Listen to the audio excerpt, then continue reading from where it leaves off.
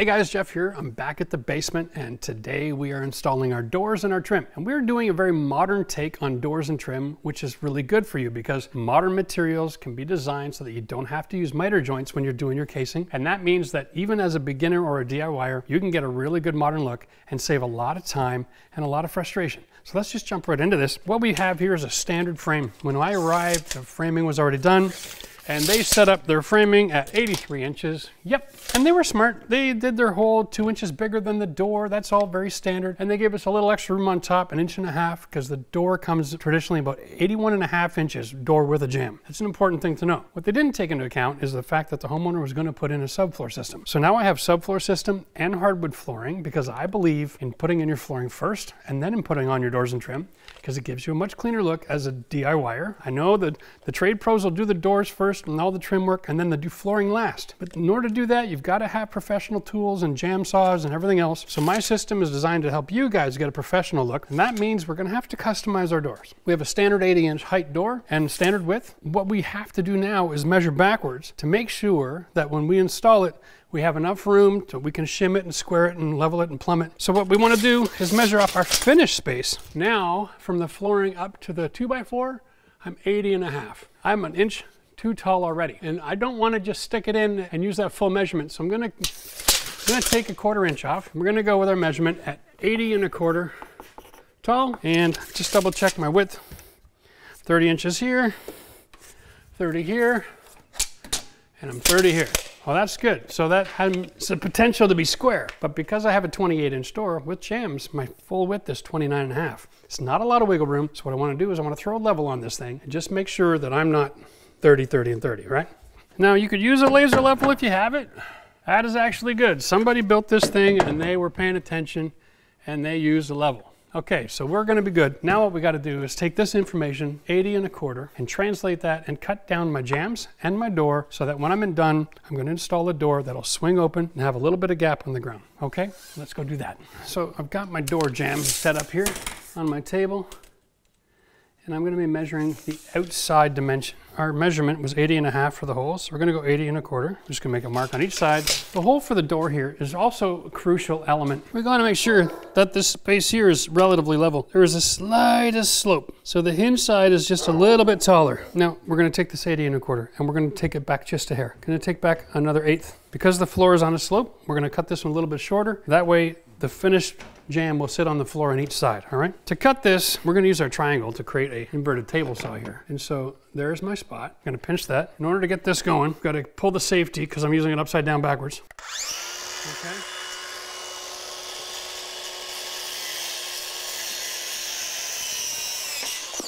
There we go. And then the same as over here, only this one, I've got to go the backwards. I'm just lining up where my saw blade touches my pencil. When I do this, I'm only focusing on the square and this blade. I'm not looking at what I'm cutting.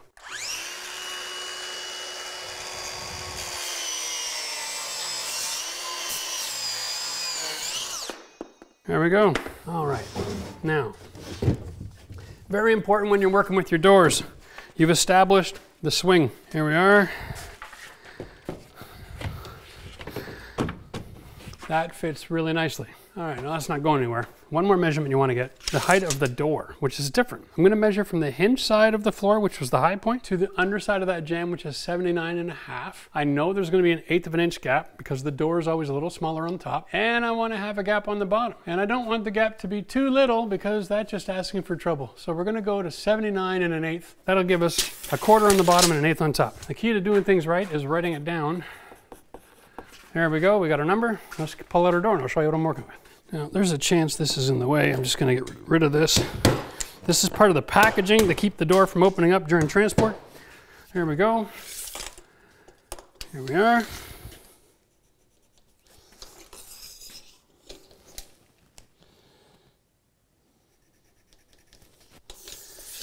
Okay, so I'm going to do is take a straight edge and I'm going to connect the dots. Now, if you want, you can set up a track saw or you can do whatever you want to do to keep that straight line. I could set up the level and clamp it down to create a fence to run the saw against, but it's not that necessary.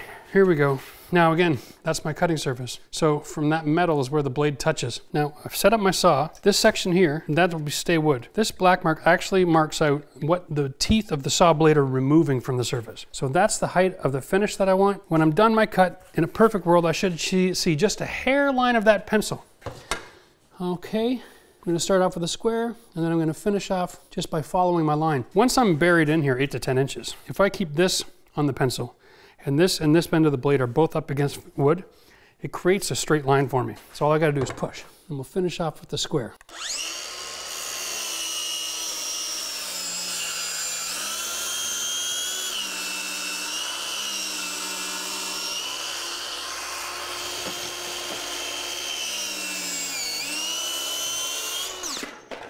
There, that was that simple.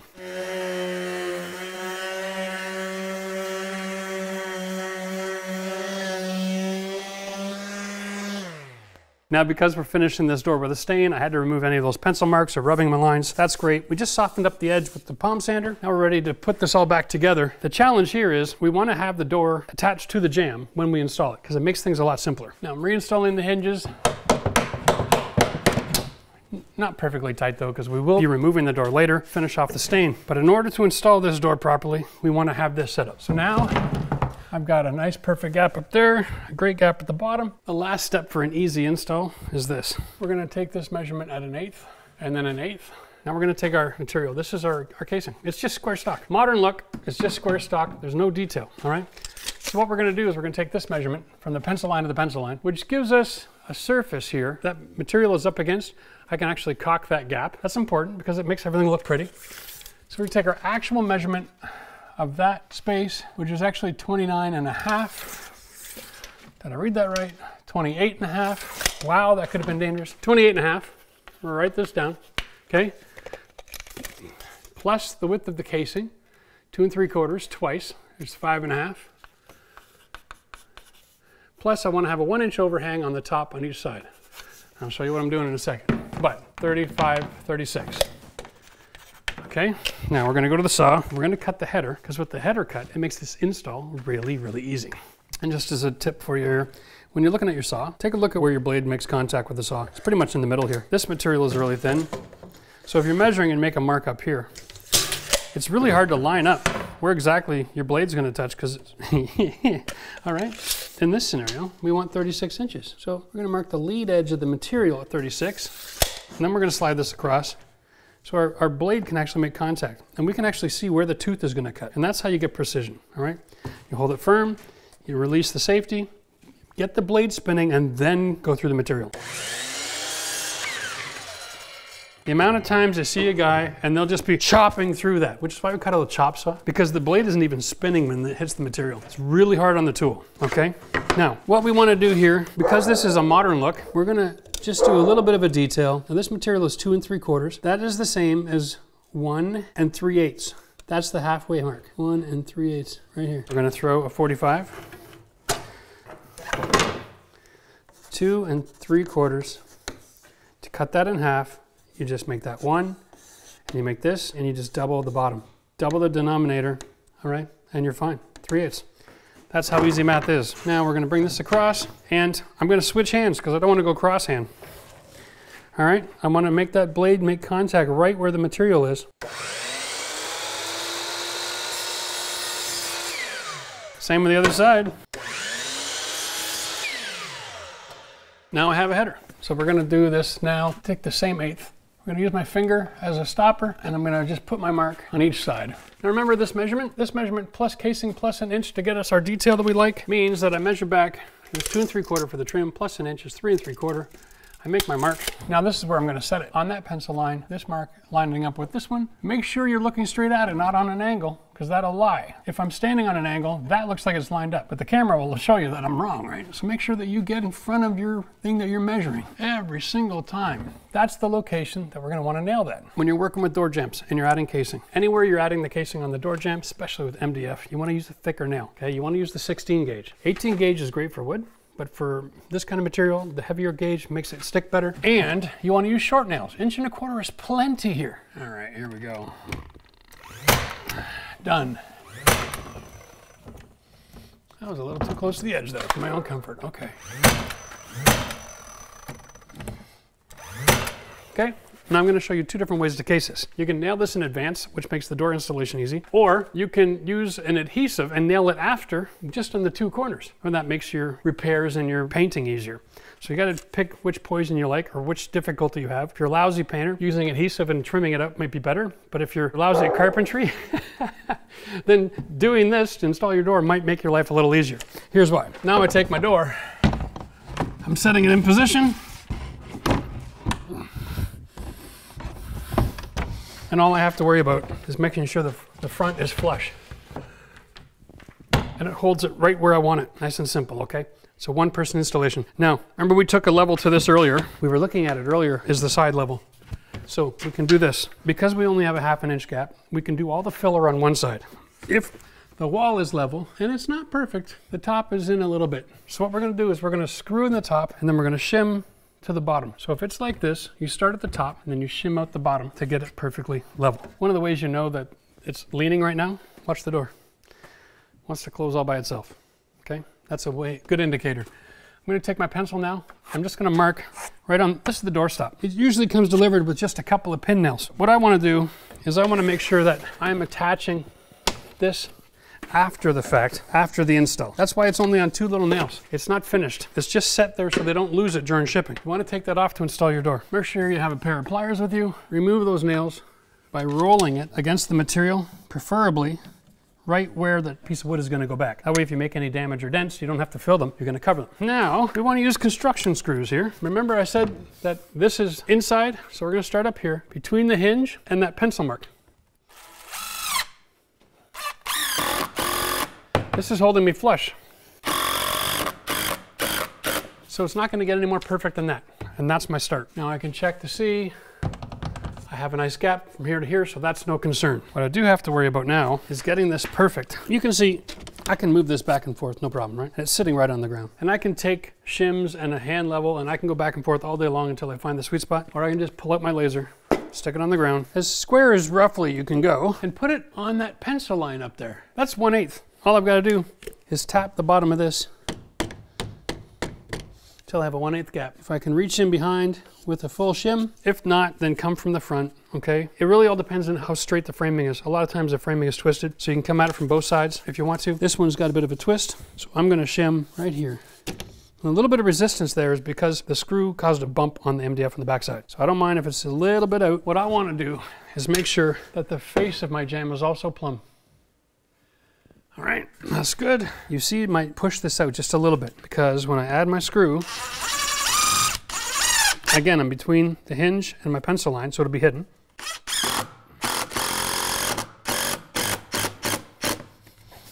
Nice and flush. Oh, this actually twisted out. Uh, hang on a second.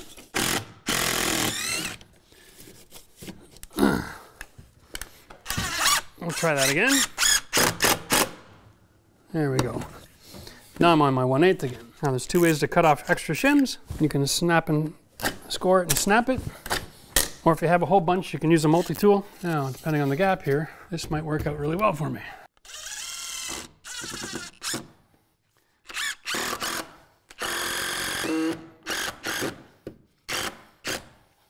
Okay, there we are. All right, now all we have to do is do the same to this side, but we want to use the door that's hanging off the hinges to set the depth. This is the best system.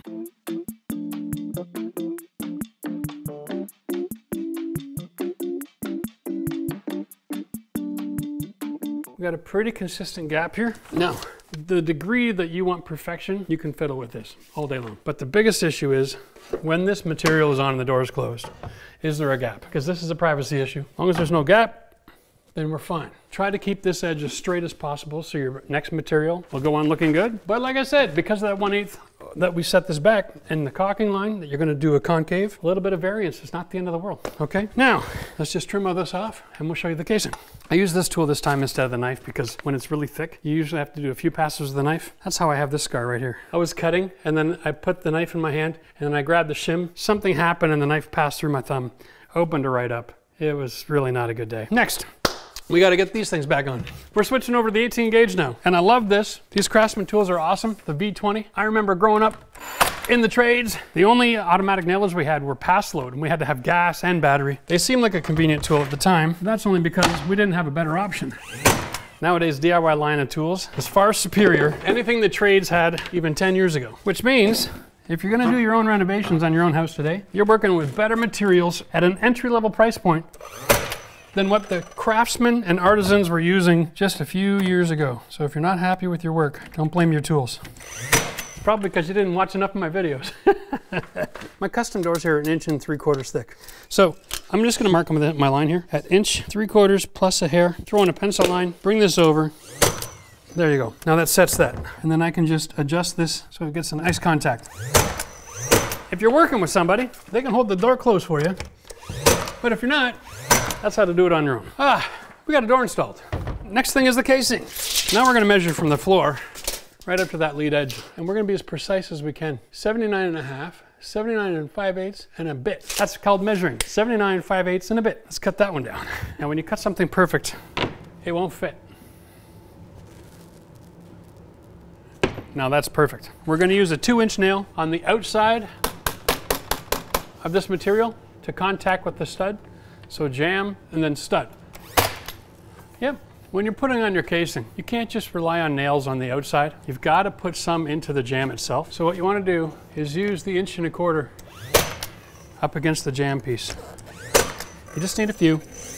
That'll make sure that the caulking doesn't get separated over time. When the door's opening and closing, if things cause some twisting motion, that'll save your bacon. Make your life easier while you're finishing. Throw the nails next to each other.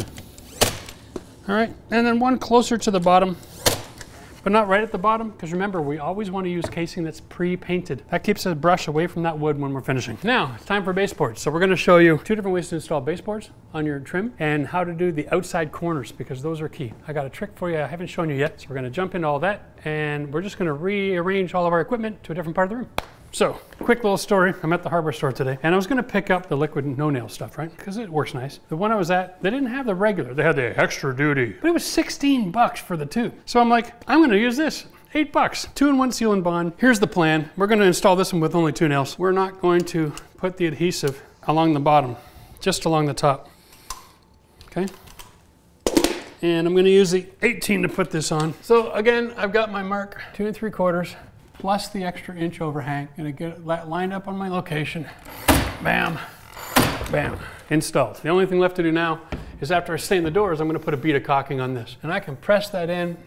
It's gonna make great contact with the drywall surface and I'm good to go. That's if you're not comfortable. Let's just face it, not everybody's gonna have a brad nailer. Maybe you gotta, you do a hammer and nails. That's a great technique for you. But for me, I like to grab an inch and a quarter into the jamb.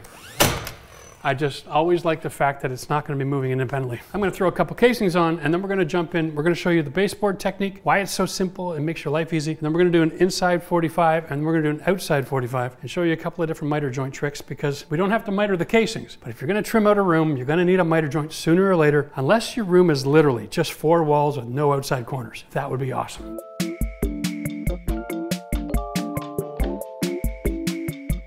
Here's our corner. It's a 45. The trick to getting something close to perfect, and it's impossible because of the mud in the joint, you want the backside of that joint in the groove. That's what you want to measure to. Now, had I gone to 46, maybe it'd be perfect, but I don't give a rip because I'm going to be caulking the joint. Finished carpentry at this level, 95% of everybody that lives in North America is not about perfection, it's about getting it close. Once you're close, you're as close to perfect as you need to be. So if you take a 45 on the backside of both pieces and you just overlap them in the corner, that's all you need. The wall is gonna have bends, curves, twists. You can't try to make all of your measurements based on that. Set it nice and easy. There's a gap, we'll fix it. I'll show you in a second. But now that I've got that in location, I want to come over to the other end of this. We're just going to go like this and set the pencil mark. Now there's my cut for that side. We'll go the other side. Then come over here. To make this measurement. Now that's an exact length, but it's also on an open angle. So in this case, I'm going to put it on the saw standing up and I'm going to cut the pencil line as well because the pencil represents the end of the board but if I take off that little 32nd of an inch then it'll fit into the gap. So let me just show you what I mean. We'll cut both of these and stick them in. We can save ourselves a lot of nails just by using a little bit of adhesive. Okay? Uh, I mean, we'll throw one in just for the hell of it, just to help close this gap over here. I'm assuming that there's gonna be wood coming off that electro box. Yep, there was. Now let's check this one out and see how that's closing. All right. Now here's how you make a perfect miter joint.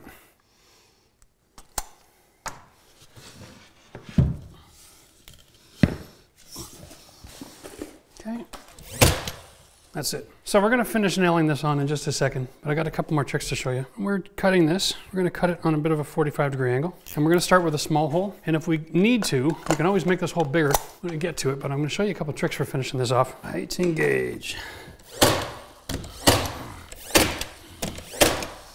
Now, you'll notice this part of the baseboard is sitting a little bit flush. Nice over here. Okay, and to be honest with you, we don't even know if those nails are going in anything because I've got green board for soundproofing and then drywall. So if you're using that situation, you don't know if you have contact, put the nails in on angles so that it's creating a pinch and that'll keep the board in place. Now over here, I'm off the ground, but because it's MDF, it has a little bit of flexibility. So I'm gonna shoot down here and up here a couple of times that'll help give it some resistance and that should hold it in place. And now we have enough time here for the adhesive on the backside to do its job. As far as caulking is concerned, we have a nice small gap here we have a small tip. We're gonna set the caulking on there. First we'll get it flowing nice. Here we go. We're gonna squeeze as we pull and it leaves a perfect concave line. There isn't even any need to put your finger in that, okay? Slow down while you're recharging the gun. Squeeze again. Now if you make any issues like this, quick lick and a wipe. Off you go. Now as far as over here is concerned, this is the kind of stuff that everybody wants to know. What I'm doing is I'm using my finger to hold the tube away from the edge. So I'm overfilling that gap. Okay, then what I'm gonna do is I'm gonna come back with a tool, and this tool doesn't have a sharp edge, it has a concave corner on it, and I'm gonna just snowplow and force that material into that gap and leave a perfect concave. Wipe the finger, soften it up. As soon as you do that, you make a dent. Did you see that? Now there's a dent because I put my finger there. So you don't want to make a dent, you got to trust the tool to do the job. One more time. Just hold this tight and pull it. Perfect caulking line. Because I use adhesive and nails here, this is not moving. Now I can caulk this gap here pretty much in the same manner. Okay, I'm going to use my finger here. Keep the tip away from the edge.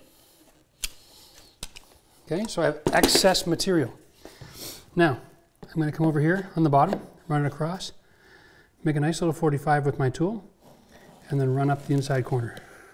And now I can place my tool here clean that out. That's the perfect edge as well. And then I can come across the top, cleaning all the imperfections and the difference in heights. And remember, when you're dealing with MDF as a baseboard, for whatever reason, they come out of the mill different thicknesses. Your corners are always going to be atrocious. So having a tool to flatten out those adjustments is money in the bank. That really eliminates the differences. Let's just always start with a clean tip. Drag and pull. No need to clean. Here's an issue where everybody makes a mistake. Oh, they're close together, the paint will solve that. Well, expansion and contraction over time, God help us all. Would it be too much to ask? Just put a little bit of caulking around your baseboard. If there's a shadow, it looks ugly. This is going to be one of these issues that everybody has an issue with, okay?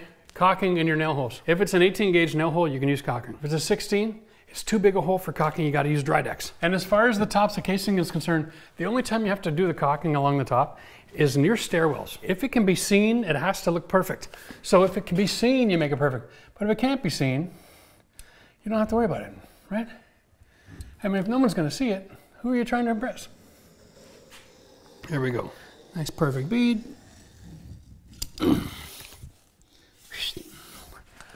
And I use my middle finger because it's the longest one that I got. No offense, a little bit of caulking in the 18 nail hole, no problem, right? Like I said, can't do that in the 16. Let me just get you the dry Drydex and I'll show you, in case you're not familiar. There, there we go. Yeah, that's right. They have the same technology in this as we had in our paint, and that is it goes on pink and dries white. Now, we're just taking a, a little dip, okay? And it runs smooth, okay? And then whenever you're using this stuff, you're gonna have to sand it afterwards, okay? You just can't get away from it. Or you're gonna have some sort of a mark or a bump or whatever. And that's fine.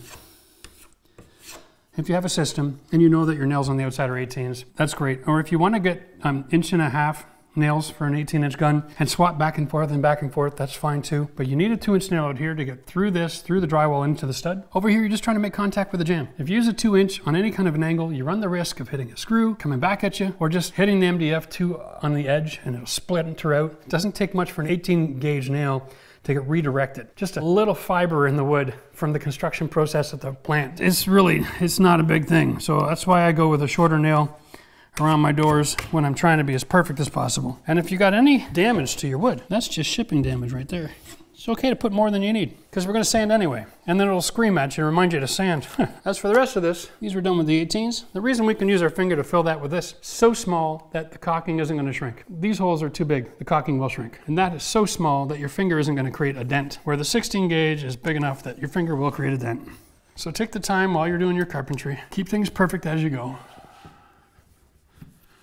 Okay, now we're gonna do an inside corner and an outside corner. Now because we're going straight into these inside corners with no detail, there's no miter. So you just stick it in, measure and cut. Over here we got the same issue going on with the cold air return as the doors. It was set at the height with the assumption of putting vinyl right on the concrete. In this case, don't be afraid to cover it up. You can install the grill right on top of this base because there's no detail. And it can go a little higher than it needs to be. All the fins are pointed down. No one's ever gonna notice. It's still gonna function great. Let's not worry about that. Remember, when you're doing baseboards, if it fits when you put it in, it's too small. It should have just a little bit of a need for a little bit of love. We'll put that there, a little bend, snap it in. I'm gonna start here, Okay, wood's there. We always have wood beside the cold air return. That's too easy. And on this side, I'm pushing down now, and most electrical boxes are on the right side. If it stays pulled snug like that, you know you found it. All right, in the corner where the floor dips. Okay, because we're manipulating to follow the contour of the floor, so we don't need an extra piece of trim, you're gonna have gaps open up. Use the tool and the caulking in those situations to create a perfect intersection point. And if the gap is big enough, you might have to come back a second time. That's not the end of the world, all right? If your gap shrinks up when it dries, it was just a little bit too much material and it got small. So add some more and fill it up so that it's not noticeable. Here's my little secret to help make these outside corners a lot easier. Knock off the extra mud, first of all. You don't want to let the dried up mud dictate to you how the size of your trim is going to be. Take a scrap piece, lay it up against the wall on both sides, okay? And then measure the gap. And measure backwards, so you're measuring the outside, not the inside. In a lot of cases, because of the corners, the trim has to follow a contour, and you want to make sure that you're measuring the outside point to the outside point. That makes that seven and three quarters in this case. You notice this particular trim here was cut extra long. That's because when you're doing this sort of thing, having the trim meeting off the wall is not a problem. That can be fixed, right? That's just caulking. That solves that problem. Now, here's my secret to doing this. I'm gonna fill up the backside with enough caulking that it has to be pushed into place. And I wanna put it on the outside edge here. Remember, this is just acrylic latex, all right? It cleans up real easy. I'm gonna set it in place and just get that out of the way. Nice and gentle. Okay. Now, for whatever reason, this one is sticking way out. And you know, these imperfections are going to happen. Now, I'm trying to create a square environment, so I'm pressing this back. So what I'm going to do, I'm to take this, my tool, up against the wall, and I'm going to hold this in place while I put nails just offset to it.